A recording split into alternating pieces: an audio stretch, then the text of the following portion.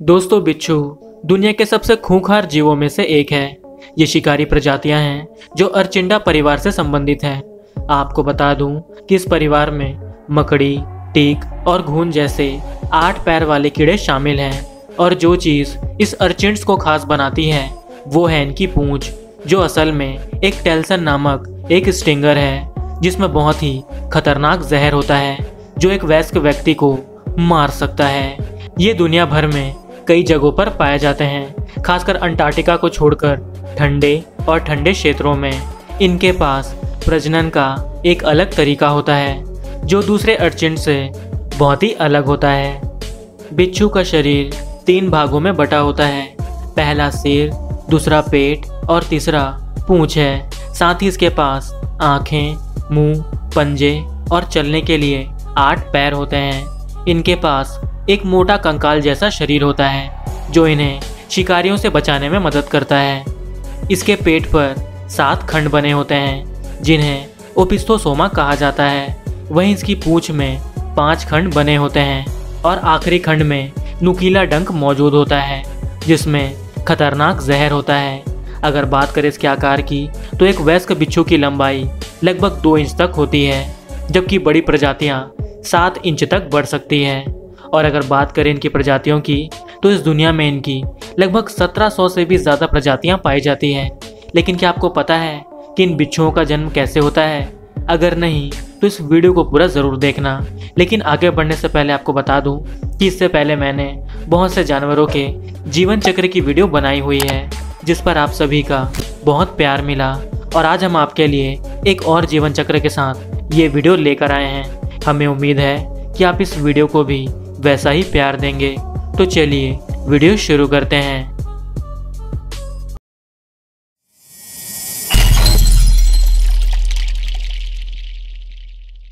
दोस्तों, बिच्छू का जीवन चक्र विभिन्न प्रजातियों के आधार पर अलग अलग होता है।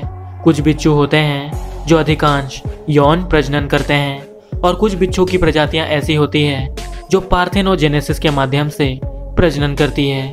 ये एक ऐसी प्रक्रिया है जहाँ ये बिच्छू बिना यौन प्रजनन के प्रजनन की प्रक्रिया संपन्न करते हैं, जिसके बाद अनफर्टिलाइज अंडे पेट में विकसित होते हैं। और एक बार जब ये बिच्छू आखिरी बार मोल्टिंग करता है तो ये वयस्क होने की प्रक्रिया तक पहुँच जाता है। यानी ये प्रक्रिया जीवन भर प्रजनन के लिए चलती रहती है।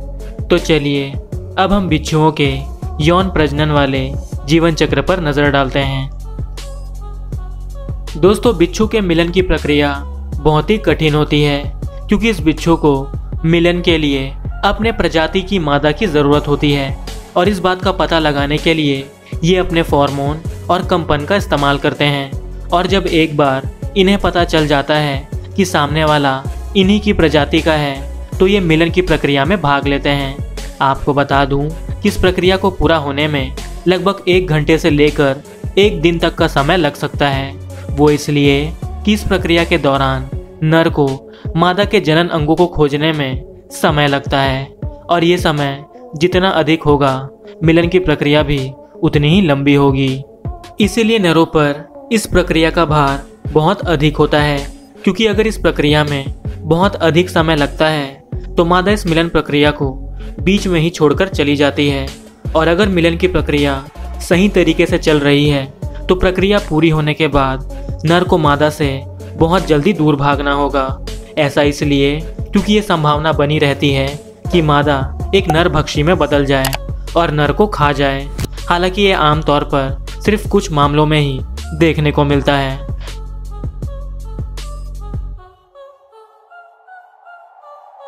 तो जैसे ही इनके मिलन की प्रक्रिया पूरी हो जाती है, उसके कुछ दिनों बाद ही मादा गर्भावस्था में पहुँच जाती है। आपको जानकर हैरानी होगी कि कुछ बिच्छुओं का गर्भकाल बहुत लंबा होता है और ये कुछ महीनों से लेकर एक वर्ष के बीच हो सकता है, जो कि प्रजातियों के आधार पर अलग अलग होता है। तो जैसे ही मादा की गर्भावस्था का समय पूरा हो जाता है, उसके बाद ये बच्चे देने के लिए सुरक्षित स्थान की तलाश करती है, ताकि इसे बच्चे देने में कोई परेशानी ना हो। और जैसे ही इसे कोई सुरक्षित स्थान मिल जाता है, उसके बाद ये घोंसला बनाना शुरू करती है। जैसा कि आप देख सकते हैं कि किस तरह ये अपना घोंसला बना रही है।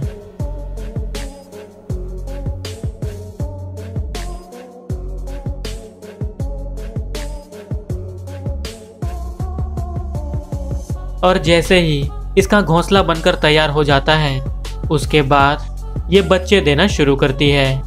जैसा कि आप देख सकते हैं कि किस तरह ये बच्चों को जन्म दे रही है।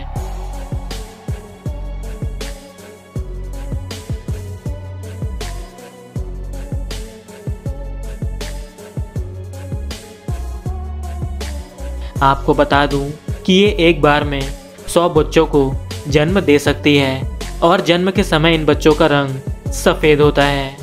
दोस्तों, ये नज़ारा सच में बहुत ही अनोखा है, जिसे आपने शायद ही पहले कभी देखा होगा।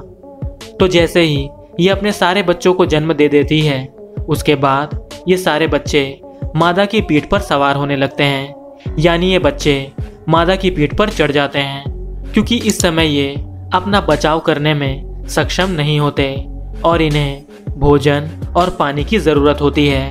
और ये अपनी माँ की पीठ पर सवार होकर ही ये सारी चीज़ें प्राप्त करते हैं। और इस तरह ये लगभग पचास दिनों तक अपनी माँ की पीठ पर बने रहते हैं और रेंगते रहते हैं। और इस दौरान ये मोल्टिंग की प्रक्रिया से भी गुजरते हैं, जहाँ ये आठ से दस बार अपनी त्वचा को बदलते रहते हैं। और जब जब ये अपनी त्वचा को बदलते हैं, तब तब ये आकार में बड़े होते चले जाते हैं और इस तरह ये वयस्क होने की अवस्था में पहुँचने लगते हैं। लेकिन दोस्तों, ये तो कुछ भी नहीं है, क्योंकि 50 दिनों के बीतने के बाद ये सारे बच्चे अपनी माँ को छोड़कर जाने लगते हैं, जिसके बाद भी ये समय समय पर मोल्टिंग की प्रक्रिया से गुजरते रहते हैं और इन्हें पूरी तरह से व्यस्त होने में लगभग चार से पाँच सालों का समय लग जाता है।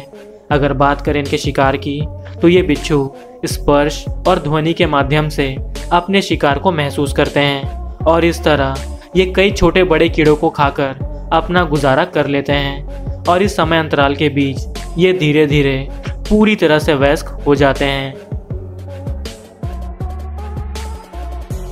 तो जैसे ही ये बिच्छू पूरी तरह से वयस्क हो जाते हैं, उसके बाद ये मादा की तलाश में निकल पड़ते हैं। आपको बता दूँ कि ये बिच्छू मादा की तलाश में मीलों की दूरी तय करते हैं और जैसे ही इन्हें अपनी प्रजाति की मादा मिल जाती है, उसके बाद ये मिलन की प्रक्रिया में भाग लेते हैं।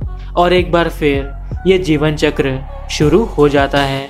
और अगर बात करें इनके जीवन काल की तो इस बिच्छू का जीवन काल छः से दस वर्षों का होता है, जो विभिन्न प्रजातियों के आधार पर कम या ज़्यादा हो सकता है। तो दोस्तों, उम्मीद करता हूँ कि आपको ये वीडियो पसंद आई होगी। अगर आपको वीडियो अच्छी लगी तो इस वीडियो को लाइक, शेयर और चैनल को सब्सक्राइब कर दीजिए। और इस तरह की वीडियो देखने के लिए स्क्रीन पर आ रही वीडियोस, या फिर डिस्क्रिप्शन में दिए गए लिंक को चेक कीजिए। मिलते हैं अगली वीडियो में। तब तक के लिए बाय